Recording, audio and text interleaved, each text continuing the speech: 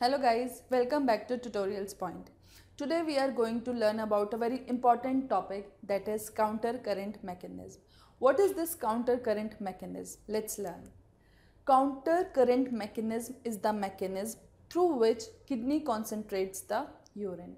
We, the terrestrial animals, need to conserve the water. And to conserve the water, we need to urinate the urine which is very concentrated. In normal condition, when we are well hydrated, then there is no need of this mechanism. But when we are not very hydrated, we are feeling dehydrated, at the time kidney makes a concentrated urine. Now let's learn about this counter current mechanism. Now, we have to learn how the this mechanism of concentrated urine occurs in the kidney. This is the structure of nephron. We know the nephron is the functional unit of the kidney. We have already learned that kidney have two main part, the Bowman's capsule part and the tubular part. In the tubular part, we have different tubes, proximal convoluted tubule, loop of Henle, distal tubule and the collecting ducts. Now, to have the concentrated urine, first thing which we want is to reabsorb the water from the tubules. The main, the main tube through which reabsorption of water occur to have a concentrated urine is the collecting duct. Collecting duct is the duct from where water is reabsorbed to have a concentrated urine. Now, this tube is mainly concerned with the reabsorption of water. So, what is the rule of loop of Henle? Loop of Henle maintains a concentration gradient. We know that reabsorption of water only occurs when there is a difference in the osmolarity. To have a reabsorption of water, there is a difference in the osmolarity from interstitial fluid to the inside of the tubule. So, as we want to move out the water, hence osmolarity outside the tubule means the osmolarity in the interstitial fluid should be high. Now, you can see here number of salts outside is higher and water is less. That means osmolarity outside the cell or outside the tube is higher. We want to maintain this osmolarity for the reabsorption of water. This osmolarity is maintained by three mechanisms. First one is the counter current multiplication which occurs in the loop of Henle. Second, counter current exchange system which occur in the vasa rectae and the third by the urea recycle. Let's learn each mechanism one by one. First, let's learn the type of nephron. We have two type of nephron. We have already talked about them in the earlier videos. Now, there are two types of nephron, the cortical nephron and the juxtamedullary nephron. We know the function of cortical nephron is to form the urine and the function of juxtamedullary is to form or is to form a concentrated urine. As we are talking about the concentration of urine, that is why now we have to concentrate on the juxtamedullary nephron. If you will see to this diagram, there is a difference in the picture. The main difference you can see here is in the loop of Henle. That means the concentration of urine or the, if we want to concentrate the urine, the main part which involves in the nephron is the loop of Henle. So now let's talk about the loop of Henle. The main mechanism which occur to maintain a concentration gradient occurs in the juxtamedullary nephron and mainly in the loop of Henle. Now, this is our juxtamedullary nephron. In the juxtamedullary nephron, everything is same. The Bowman's capsule, proximal convoluted tubule, the loop of Henle having a descending loop of Henle, ascending loop of Henle, distal convol convoluted tubule and the collecting duct. Everything is same. Now, only difference is that it contains a longer loop of Henle. Now, the loop of Henle contain two loops, one the descending one, other one ascending one. Now, we know there is a difference in the permeability. the descending loop of Henle is permeable to water but not for the salt and the ascending is permeable for salt but not for water. So first of all when filtrate come out from the glomerulus we know the filtrate which is coming out is all same is um, the filtrate which is coming out through the glomerulus is almost same as that of the blood. Hence osmolarity is same. The blood which the filtrate which is coming out is same as that of blood except that this filtrate does not contains the blood capsules and blood proteins. Hence the osmolarity over here is same as that of blood that is 300 osmol per liter. Now but this osmolarity is increasing here. It is increasing up to 1200 almost 4 times because this tube is permeable to water. Water is coming out hence it is increasing the osmolarity inside the tube. Remember what we want from this mechanism we want a concentrated gradient over here but right now we what is going on water is moving out we are doing a opposite thing. Why we are doing opposite thing? We want a NaCl to come out. Now from the ascending, from this ascending limb, what will happen? NaCl will come out. As NaCl will come out, now this part become diluted because water is not moving out, only NaCl is moving out. Now finally this number is going down. It is going down up to 100 osmol when we are very diluted we have lot of water there is no need of um, there is no need of any kind of conserving water concept because we have already lot of water. Hence the urine formed is of 100 osmol per liter. Finally it goes to the collecting duct and the urine will be very diluted. Now but what will happen if we want a concentrated urine at that time we need a concentration gradient? Now we are talking about concentration gradient but we are saying that water is moving out. So now interstitial fluid must be very diluted but it's it is not so because uh, another mechanism is also going through this mechanism is also known as the vasa recti exchange mechanism now let's First talk about the vasa recti. What is this vasa recti? Vasa recti is the extended part of efferent arteriole.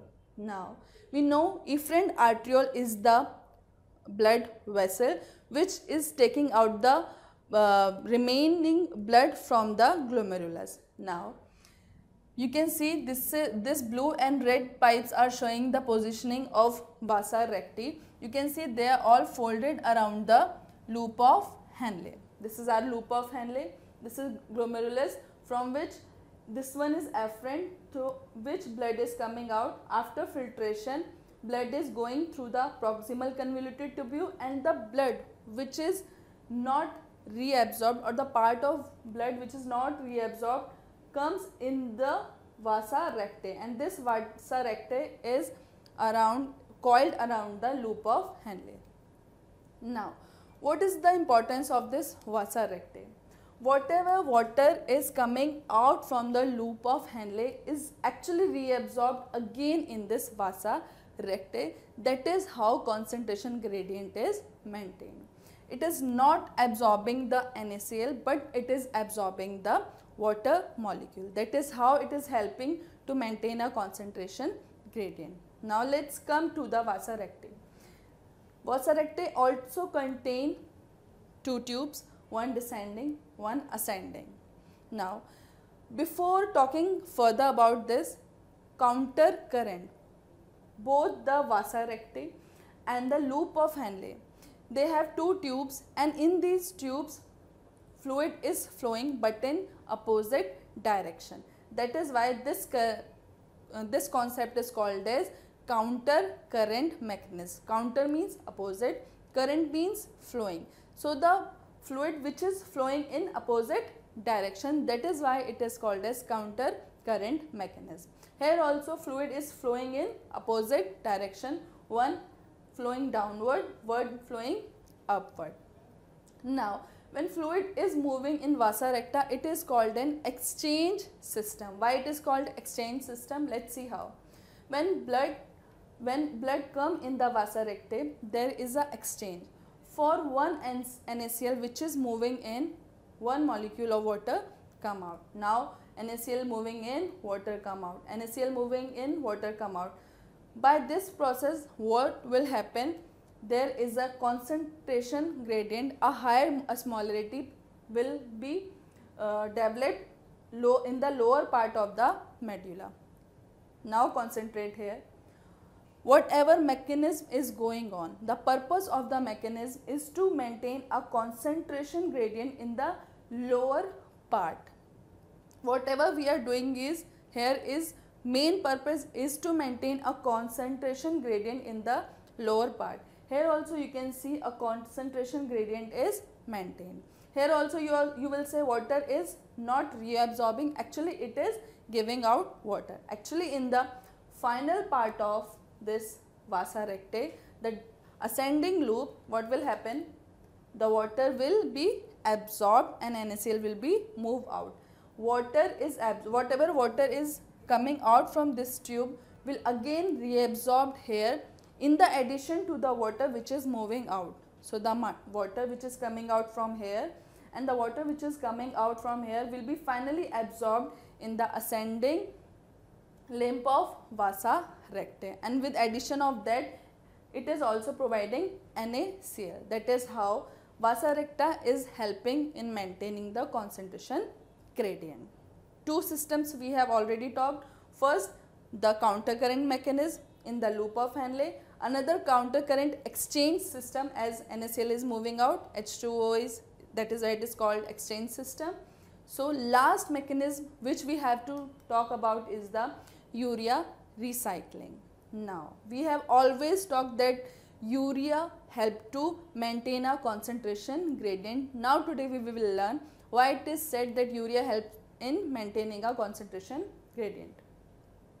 Here you can see when urea comes out through the collecting tubule, some part of urea will come out in the interstitial fluid and from this interstitial fluid the urea will enter into the ascending loop of Henle and then again come to the collecting duct. Again it will come out, again it will enter into the ascending limb through this recycling of urea occur. But not all the part of the urea is reabsorbed in the ascending limb. Some of the urea is retained in the interstitial fluid to increase the osmolarity of the interstitial fluid where in the lower part of the medulla. Now, see here, this is the picture showing the uh, absorption, reabsorption and release of the NaCl. Here you can see this is our loop of Henle. From here loop of Henle it's releasing water and this water is reabsorbed again in the vasa rectae and here the NaCl which is moving out is retained in the interstitial fluid. That is how the loop of Henle the vasa recti and the urea maintains a concentration gradient. Now, next step. Now we have learned that how this concentration gradient is maintained. Now next thing which we have to learn is that what is the need of this concentration gradient and how it help to reabsorb the water. Now two conditions occur. If we have already talked if we have lot of water inside our body, we are well hydrated, there is no need of conserving the water or there is no need to concentrate the urine. But when we are not very well hydrated, we are feeling dehydrated, at that time ADH is produced inside the body. As the ADH is produced, what it does? It provide aquaporins to the collecting duct what, is the, what are these aquaporins? Aquaporins is the water channels. Although collecting duct is not permeable to water. But when this ADH provide aquaporin to this collecting duct, for example, aquaporins are present wherever water is moving out, that means here aquaporin is present. It's a water channel. Now, although aquaporin is present, but for the reabsorption of water, we need a osmolarity. Just suppose water is move, uh, urine is moving out. The osmol normal osmolarity of urine in the in the distal convoluted tubule is 100. Now it will come to the collecting duct and here also the osmolarity is 100 then there will be no reabsorption of water because osmolarity is same hence no reabsorption will occur because we know the water will flow from uh, higher uh, lower osmolarity to the higher osmolarity. If the osmolarity will be same there is no reabsorption of water. But as there is a difference in the osmolarity that is the reason urine when will the when the urine will go to the collecting duct from the aquaporins the water will move out. Now it's 400 now equilibrium is maintained. But as urine is move out here the interstitial fluid is more uh, osmotic. That is the reason water will move out. Again it becomes 600 then it go to the 900 level then water is reabsorbed and finally at the end of the collecting tubule the concentration gradient the osmolarity is 1200 osmol per liter and to maintain equilibrium finally reabsorption occurred to a part where urine become concentrated up to 1200 osmol per liter.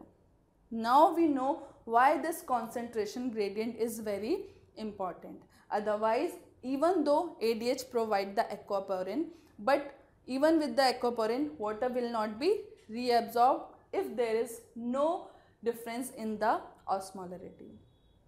Now these are the aquaporins. You can see here when you are hydrated then less water is reabsorbed. Or almost nil water is reabsorbed. But when you are very well dehydrated then aquaporins are present and more water will be reabsorbed but all because of the difference in the concentration gradient from the tubule and the outside the cell. Now in this video we have talked about the counter current mechanism. I hope you understand the concept of counter current mechanism very well. Thank you. Tutorialspoint.com Simply easy learning.